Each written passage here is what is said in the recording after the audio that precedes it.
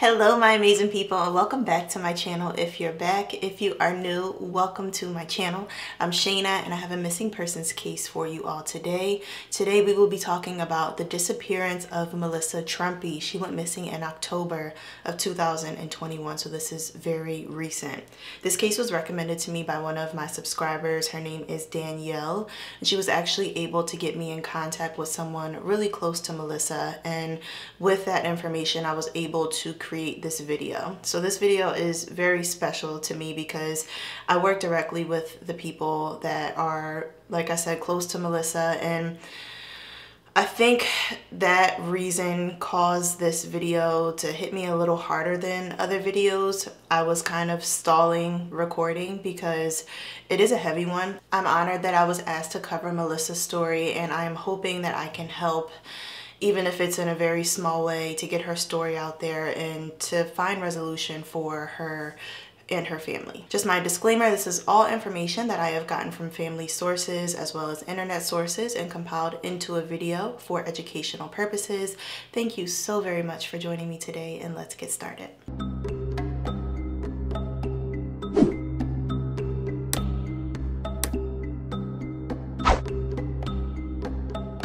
Melissa Ann Trumpy was a 37-year-old woman living in Green County, Wisconsin at the time of her disappearance. She lived there her whole life and she had really deep roots in the area with most of her family and her friends all living close by. This is a very safe place to live with pretty much no crime, very little crime in her area, and people who live there typically stay their entire lives.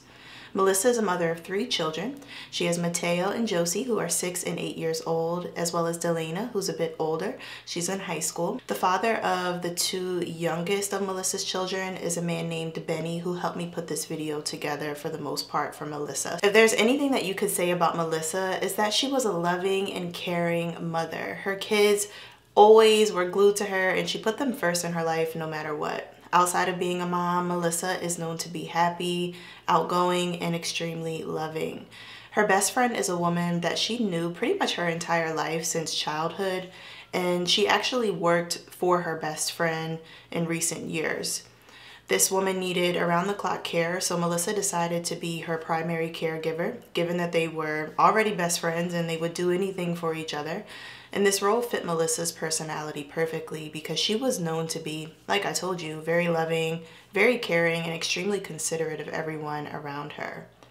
Melissa's favorite holiday by far was Christmas. Every single year you could count on her to go all out with decorations and lights.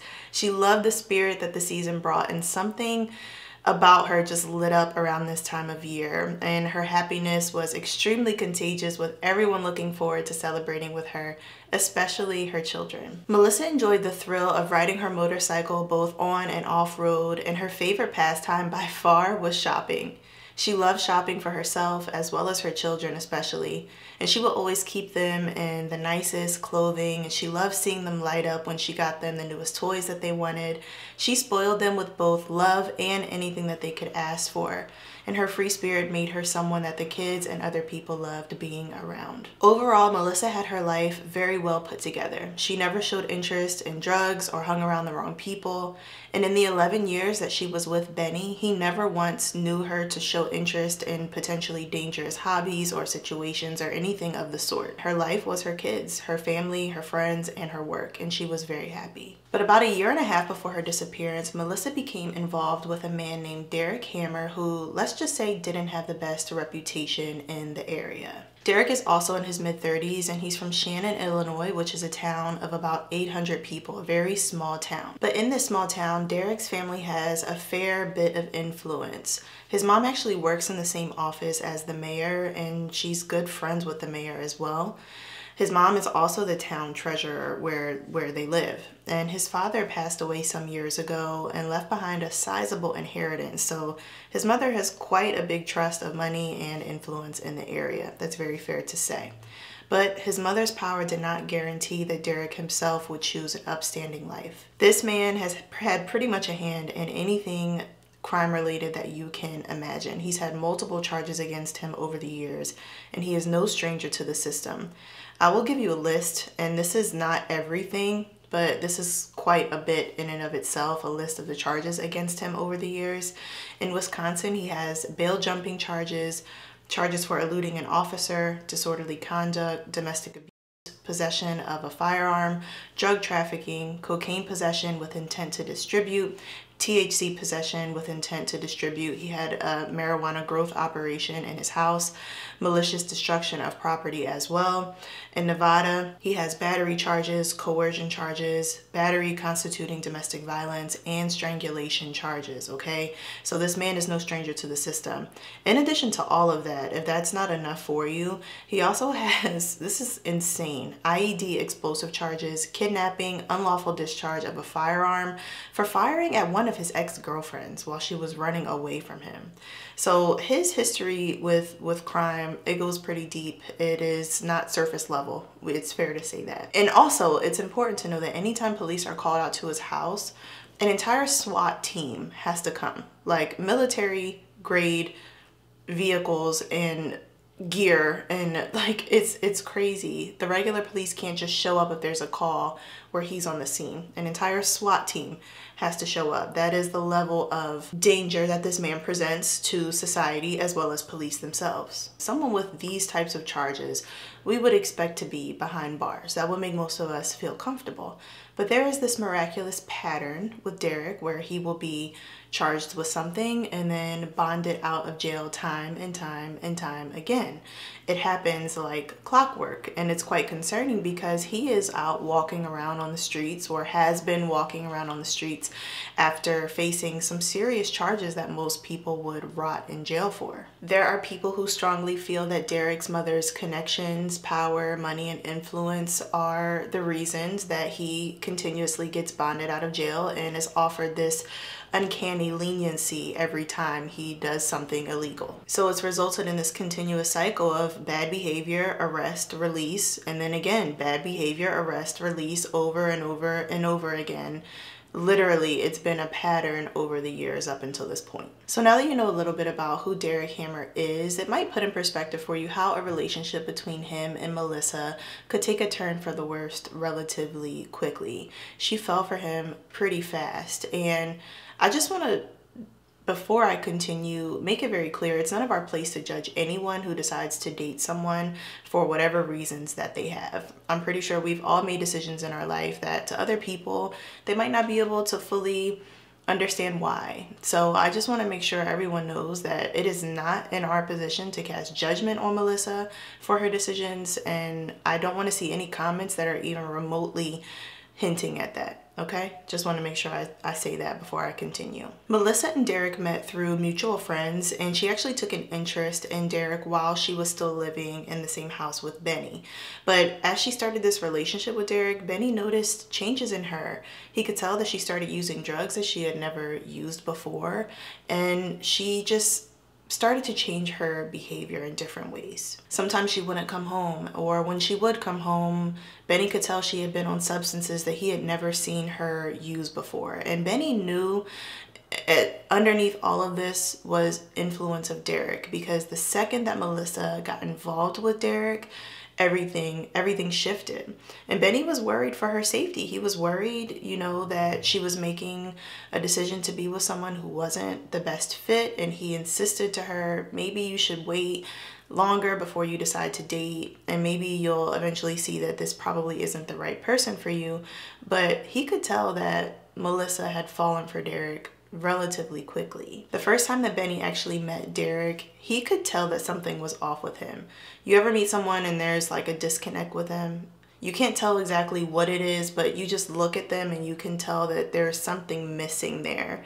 There's this like darkness about them. That is what Benny felt and he knew, like he just had this gut feeling about Derek and he did not like the idea of Melissa being with him at all. Melissa's family didn't have the best impression of Derek when they met him either and they could tell that he had controlling behavior and they could tell that the relationship with him was changing who Melissa was, the way that she acted. And they noticed this distance that started to form between the family and Melissa. And it was all at the hands of Derek. And it was blatantly obvious that the relationship that he was cultivating with Melissa was one where it was all about him, it was all about control. There wasn't room for, there wasn't as much room for family and the other things that Melissa enjoyed doing. So her family could tell something wasn't quite right. And Melissa's children also, at their young ages, did not get the best impression from Derek. They could tell that something wasn't healthy in this relationship dynamic. Melissa will always assure her loved ones that things weren't as bad as everyone thought they were. And she would try to find ways to defend Derek or she would deny that anything was wrong altogether when the family would voice their concerns about him. There were changes in her, like I told you guys, you know, though, that the family could tell her physical appearance started to change, her weight changed, she didn't seem as happy anymore. So there was one day that Benny saw a picture of his house and he saw in the photo that Derek's car was parked in the driveway. Remember, Melissa and Benny were still living together at this point. And as you may imagine, Benny was infuriated. He was concerned about Derek's dangerous behavior and he didn't like the idea of Derek being in close proximity to his house or his children, whether Melissa decided to date him or not. When Benny saw this picture, he absolutely lost his temper and he decided to make his way over to Derek's house where he lived in Illinois. He contemplated what he wanted to do and then in that moment he just made the decision he drove full speed into Derek's house, okay? This happened in 2019. So after driving his vehicle full speed into Derek's home, Benny had to serve some probation. Nobody was hurt. But Benny actually told me that he never felt any regret for this decision that he made. He didn't like Derek. He didn't want Derek to have control over Melissa and he wanted Derek to stay away. And after this situation actually happened, there were drugs found in Derek's home. Um, but of course, Derek only served a few months before getting bailed out yet again. Now, when Derek got bailed out this time, Melissa continued to see him and everyone continued to see the changes in her. But no matter what anyone would say, she decided to stay with him. She was in love with him. And whether it was a conscious choice because of love or she was coerced to stay and made to feel like she couldn't leave, that there was a more of a risk of her leaving, a risk to her life and her safety, we don't know what the actual reason was, but she did remain in this relationship with Derek. Benny had gotten to a point where he decided that it was best for him to move out of the house and literally within months, you guys, Derek had convinced Melissa to let him move in. So now living under this roof was Melissa, Derek, and the children. And the main concern was, of course, him being around the kids. As far as I am aware, he never did anything to the children. But still, the idea of this man with this record and this history that was very extensive made everyone kind of feel uneasy with him being in the same household as the children. Everyone knew what kind of person he was, and they definitely felt less than comfortable with the living situation now. Leading up to Melissa's disappearance, a series of events took place that are quite troubling, so I decided that it's best to break them all down for you now. One month before the day Melissa went missing, her son actually made a shocking confession to one of his teachers at school.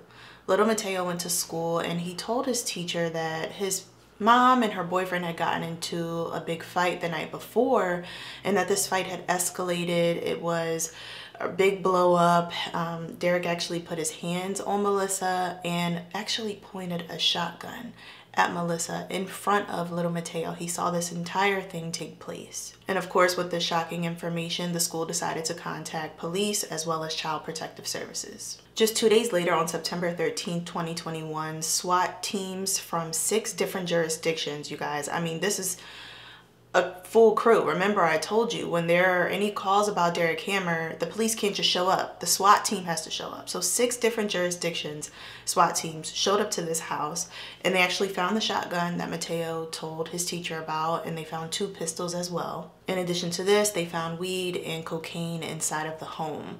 Derek was charged with possession of firearms, domestic and disorderly conduct, and both Derek and Melissa got drug charges and child endangerment charges. The children were placed in their father's custody at this time. Now this raid took place because of what was reported to police and CPS and as you may imagine Melissa was absolutely devastated. These were the first charges that were ever against her. She had never been involved with the law in any sort of way. So this was just like a shock to the system for her and everyone could tell and everyone was so upset in her life because they knew that this wasn't Melissa. They knew that this was all about control, that Melissa was in the situation because of the coercion that Derek had done to her and because of the and situation that Melissa was in at the hands of Derek. This wasn't a situation that Melissa just got herself into willy-nilly. She was devastated. And I want to really put in perspective for you guys, at this point in the relationship, Melissa was afraid. She couldn't just up and leave. And if you do your research, you will learn that women in domestic violence situations are at the highest risk when they try to leave. It's very common where you get trapped in a relationship with an abuser and you literally cannot get out for fear of your safety being jeopardized. But after both of their arrests, Melissa was released and Derek, of course, was released shortly thereafter on a $10,000 cash bond. After this point, he moved in with his mother in Shannon, Illinois. There was a no contact order in place and Derek and Melissa were not to have any correspondence whatsoever with one another. So Melissa is living in Wisconsin and Derek is living back where he used to live with his mother and Shannon. Melissa decided after this huge blow up that she did not want to live her life like this anymore, you guys. She was tired of living in constant fear. She was tired of having to look over her shoulder due to him living below the law. She hated the idea of not being around for her children if she made the decision to stay in a relationship with him she was just having this kind of epiphany where she was like, I can't continue down this road because there is no happy ending here. To make things even more annoying than they already were at this point, Derek stole multiple cars after getting released, including Melissa's car. He got into a high-speed chase with the police and blew the motor on the car. So on top of everything that Melissa was already dealing with, now she didn't have her own vehicle because Derek stole it and got in a high-speed chase. He didn't get caught from this chase because police actually had to call it off because it was in an area, I think near a school where it was unsafe for them to continue to continue the pursuit. But he was involved in the high-speed chase and now Melissa was short a vehicle. Now Melissa was released, but of course she was still having to deal with the charges that were brought against her in September and there was correspondence with police and, and court dates that were included in this. And police had charges against Melissa, but they knew that the person that they really wanted to crack down on was Derek. And their plan for getting answers about Derek and getting something incriminating against him was going to be to get it through Melissa.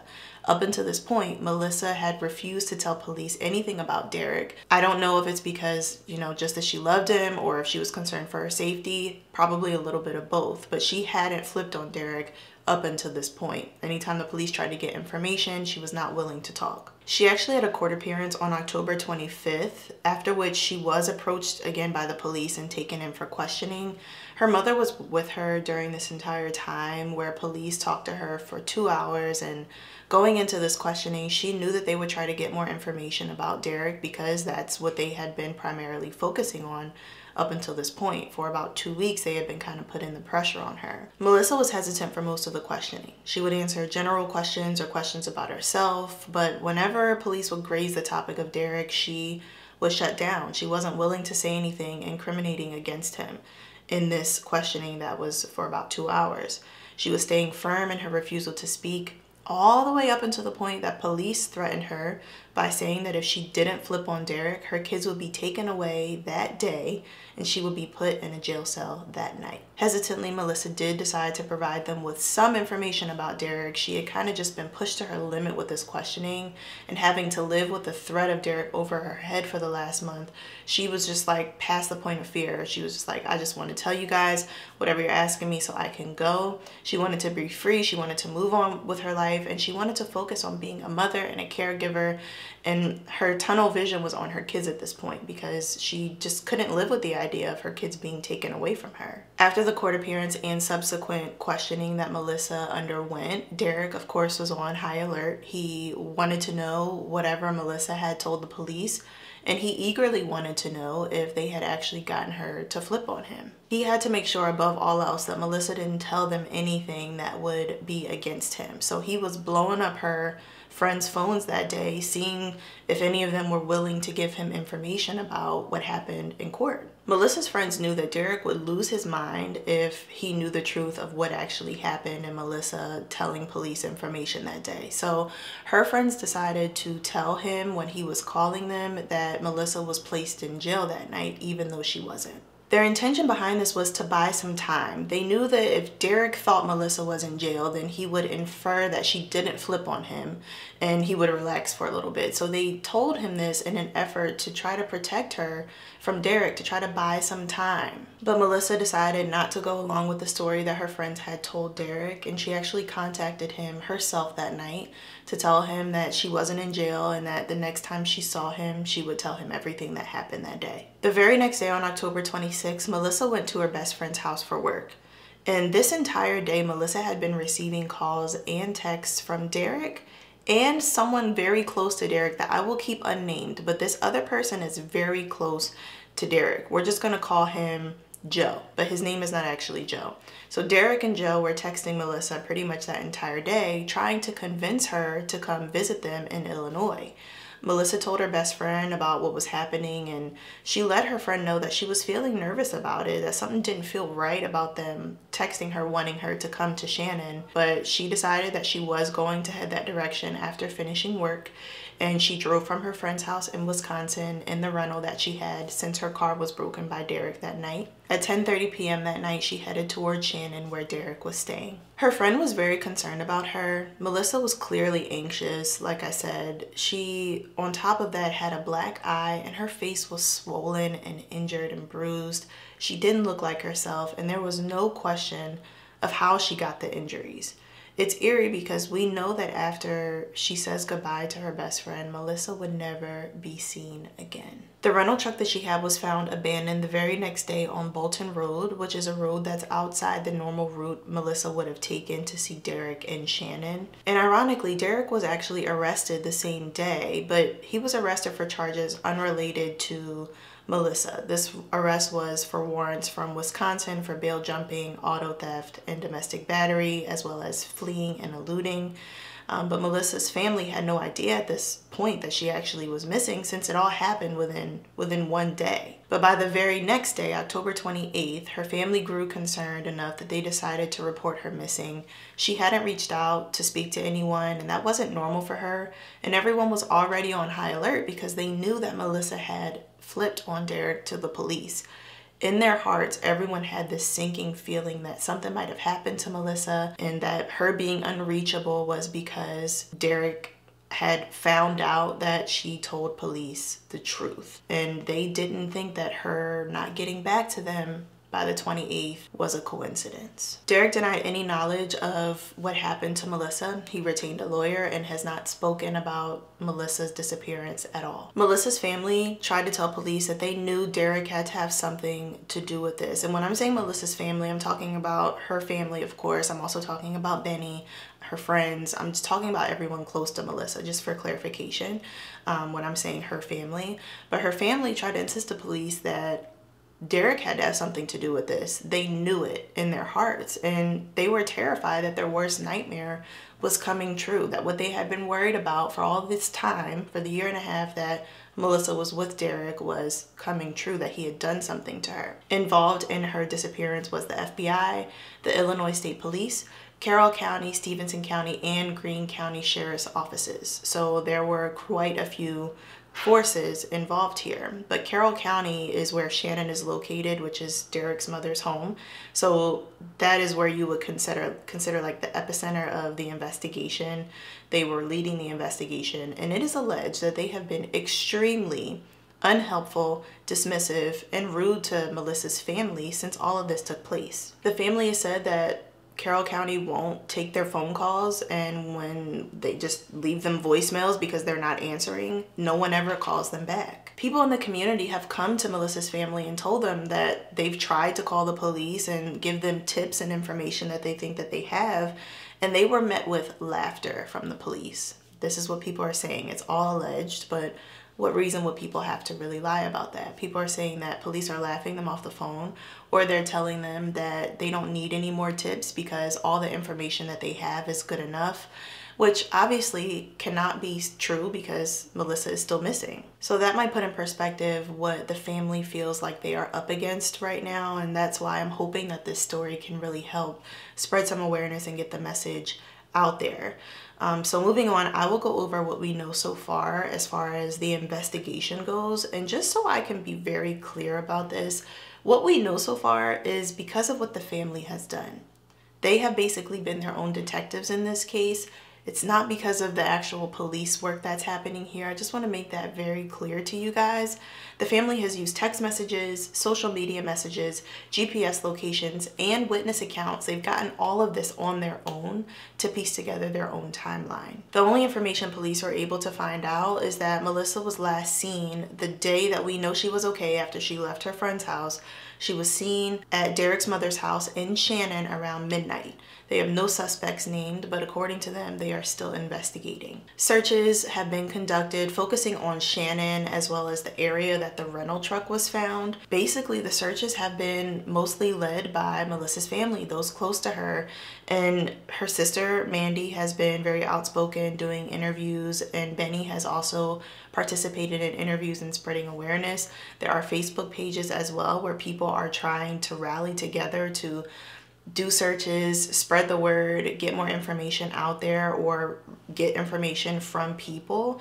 And they're just trying to be very vocal to get Melissa's name out there. They know that the more people who hear about her case, the better chance of a resolution and bringing her home. It's just hard for the family because they really feel like in large part they're working alone and that the police are watching them work instead of working alongside them. And in their opinion, they really feel like people in the neighborhood know information, but some people are just too afraid to come forward. So they've decided to do some digging of their own and it's led to a few very key important discoveries that piece together some sort of timeline of the night that Melissa disappeared. So I told you that Melissa's car was found on the side of the road the day after she was last seen, before Melissa was even determined to be a missing person. Her car was abandoned and found on the side of the road. All of her personal items were found in this vehicle, you guys. Her cards, her cash, her coat, and even her shoes.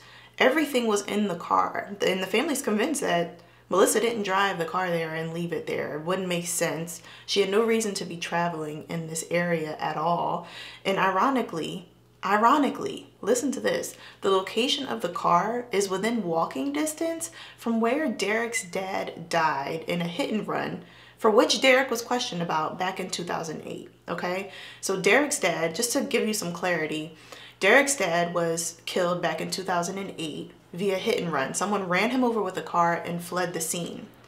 This location of where this happened to his father is within a short walking distance to where Melissa's car, rental car, was abandoned. When her, his dad died, Derek was actually questioned multiple times for this, and there are people in the community who say that they saw Derek hit his dad and leave the scene. That's all alleged. Everyone is innocent until proven guilty, but it's a very small town and people in this town talk okay? Very small town. Like I told you, Shannon it's a population of less than a thousand people. Do you know how small that is?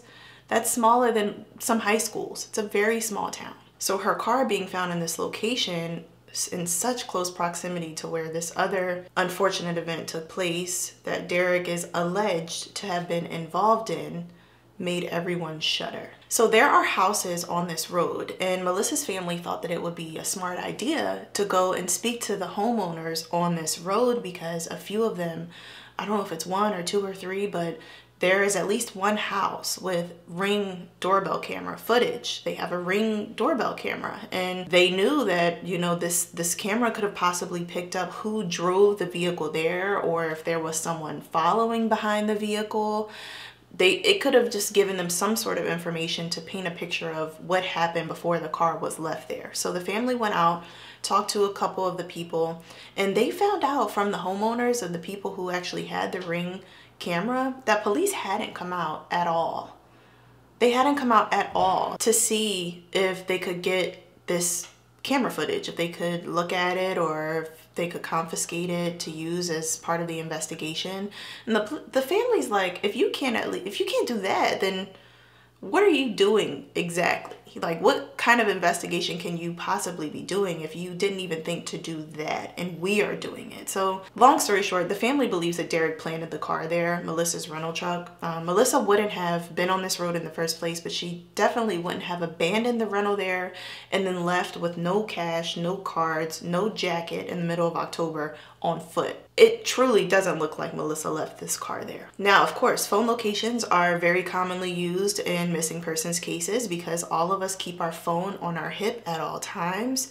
So her family decided to get her last locations to see kind of where she traveled the night she went missing. And they noticed that when they went to go pick up her travel history, her phone was pinging in different states and in different countries, okay? Now, I don't know if you're familiar with what a VPN is, but a VPN essentially, one of the things that it can do is hide your location. So it appeared that a VPN had been installed on her phone making her look like she was in one place when she was actually in another. Now, who else would install a VPN on Melissa's phone other than a known criminal? We don't know for sure that Derek did this, but the family's like, why would Melissa want a VPN on her phone? She wouldn't. There, there's absolutely no reason for her to have downloaded this on her phone herself. But it was discovered that Melissa's last whereabouts probably weren't in Shannon at Derek's mom's house like the police said at all. So the family is doing some digging. They're talking to people. They're trying to see what people are willing to tell them. And they're actually told by people that Melissa was seen at an apartment complex about 16 miles away from Shannon the same night.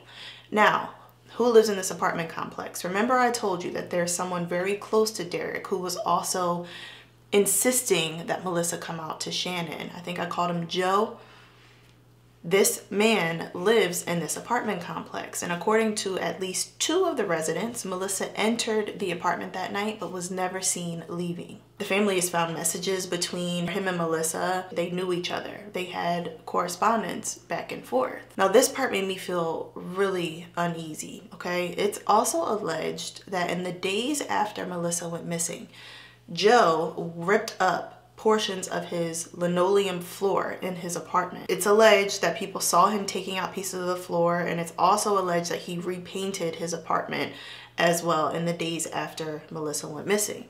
Now, I don't know about you. In my apartment, if I need something done, I'm contacting the leasing office or my landlord. Most people aren't renovating apartments because they don't own the apartment. Now, and also this apartment complex is known to be pretty rundown. It's not known to be the best area. The best people don't hang out in this area. It's not a place where you would move and be like, yeah, I'm looking forward to renovating this place. We're gonna make it really nice. It's a come and go kind of place. So for him to be repainting and ripping up the linoleum, when the family was told this by people who live there, they were like, that's very important to know. In addition to this, witnesses also told the family that they saw two vehicles speeding out of the parking lot that same night. I mean, ripping out of the parking lot at full speed. And all of this information is just people who have been willing to talk to those close to Melissa. There are people who are afraid to speak to the authorities, but they will talk to other people who aren't police. It's that's a very common thing where individuals may feel more comfortable just speaking directly to family because they don't want to get involved with the police, right? That's a very common thing. But of course, Melissa's family took all of this information and hauled it right to the police so that the police could do some digging of their own, start a real investigation, maybe go get some forensics, some DNA from the scene, try to piece together if this is really where Melissa was. But up until this point, as far as I'm aware, police still have not searched this area for evidence. Joe has made a really big effort to distance himself from the investigation since Melissa went missing. He has claimed that he wasn't close to Melissa at all, that he hadn't seen her in months. But we know that that's not true. There are many people who have said that they were seen together recently and Melissa's family literally saw the messages between Jill and Melissa proving that they knew each other. There are multiple scenarios that can place him in close proximity to Melissa before she went missing. But perhaps the most concerning aspect of his correspondence with Melissa before she went missing was him encouraging her to come out to Shannon. So I told you Derek was encouraging her to come out to Shannon and also Joe was encouraging her to come out to Shannon and he was encouraging her under the guise of safety, right? Come out, be with me. I'll keep you away from Derek. I'll protect you. Derek was also trying to convince her to come out to Shannon for we don't know what reason, his own special reasons. But given that Joe is close to Derek, when I tell you that they are really close, they are close. Given that they are such tight people, it has many people wondering if both Joe and Derek know what happened to Melissa that night. There have been no suspects named in this case, but in the court of public opinion, Derek Hammer should be the primary suspect. It's important to note that in the mugshot taken of Derek when he was arrested the day after Melissa went missing, he has very recent injuries on his face, right? Very clearly recently gotten scratches on his face and it struck a lot of people as odd. So the entire left side of his face is scratched and he has a towel, towel over his left shoulder in the mugshot which strikes a lot of people as looking as though maybe he got into some sort of altercation before his arrest. It makes you think that he definitely did have something to do with Melissa's disappearance before he was arrested the next day. After seeing this mugshot, Melissa's sister told a news station that she was, quote, glad her sister didn't go down without a fight, end quote. The injuries are eerie because they look like something you would get from someone defending themselves against you, right? And it's very hard to think about.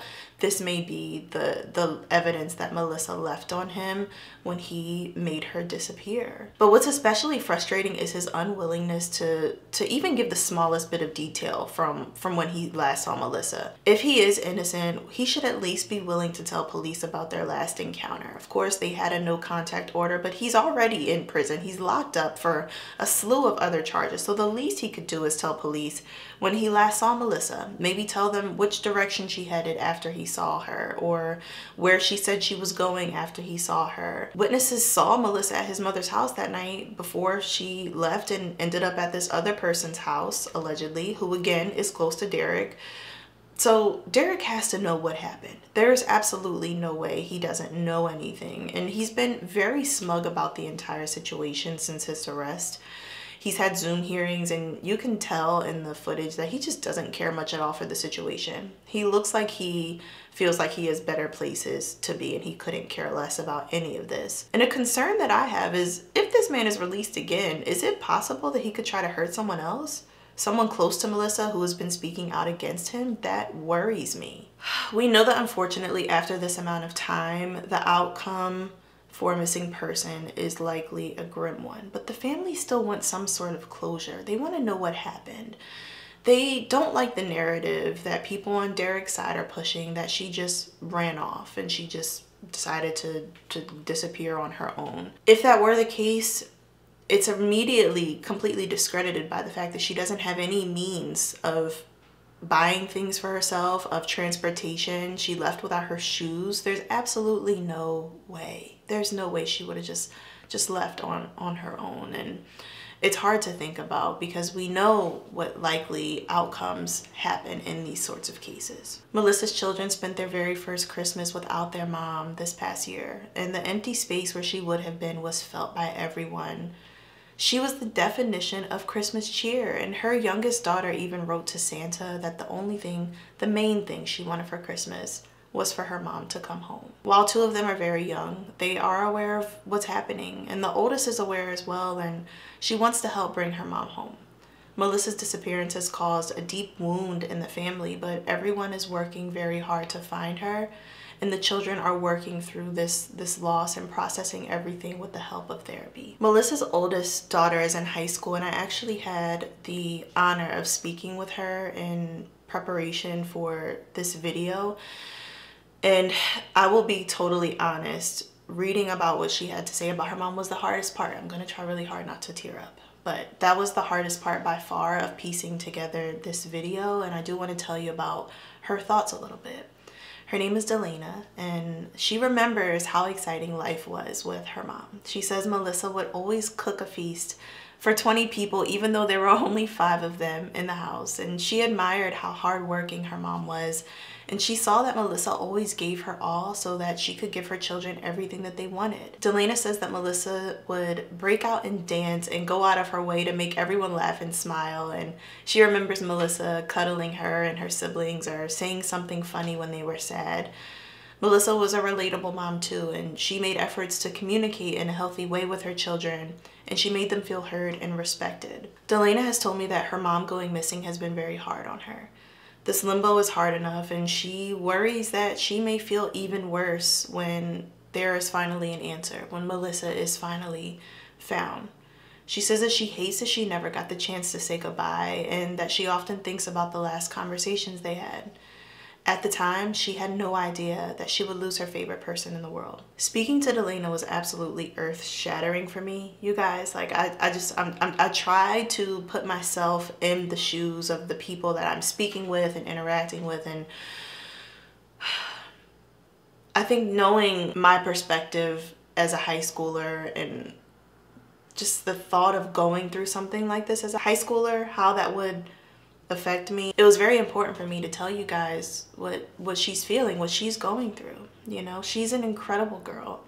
She's an incredible girl and she is so much braver and she has so much more courage than she will ever know. If you have any information that can lead to the discovery of Melissa Trumpy's whereabouts, I will have contact information for who you can reach out to in the description box of this video. There's also a change.org petition that I will have linked down below for you all. This petition was created to try to keep Derek Hammer in jail so that he cannot cause any harm to anyone else. Melissa Trumpy is 37 years old, standing at 5 feet 10 inches tall. She's about 163 pounds with blue eyes and blonde hair she has tattoos on her right arm and her left leg. Please spread this message so that we can do our part to get Melissa's face and name out there. I really hope that this video will be a small push in the right direction of keeping police vigilant on her case and up until this point, the sad reality is that police have been actively working against Melissa's loved ones. That's just the reality of it. And it seems like there's roadblocks that they have to face at every single turn. Melissa's loved ones held a candlelight. She, they actually held two candlelight vigils for her since she went missing. And at the second candlelight vigil, there was this very interesting police presence, right? Because they, they haven't answered their phones. They don't return phone calls. They are very dismissive. But when the family wanted to have a candlelight vigil, there was this sudden, very overwhelming police presence. And the police are out there as they're trying to hold the vigil. Melissa's daughter is crying and the police are telling them that they could arrest the people on the scene for impeding traffic and for demonstrating without a permit. This street that they were on, like no cars passed the entire time that they were out there for this vigil. So it was absolutely ridiculous and threatening to arrest people while Melissa's child was crying. I mean, just heartless. The family also noticed that the one establishment in Shannon, right? This is a very small town. The one establishment that exists in Shannon, Illinois, where they put up a missing persons flyer for Melissa was taken down. It's very important to remember also that if you see something or if you hear something, you say something. Even if you decide to submit information anonymously, it can still help tremendously. If anyone sees this video who was close to the investigation, who was close to the family, who may know something, who may have heard something, this is a message for you. This is a plea for you to come forward and tell people what you know. Now for my subscribers, another way that you can help, please share this video. Please spread the message about Melissa. And if we can get maybe some larger channels to cover the story as well, that would be awesome.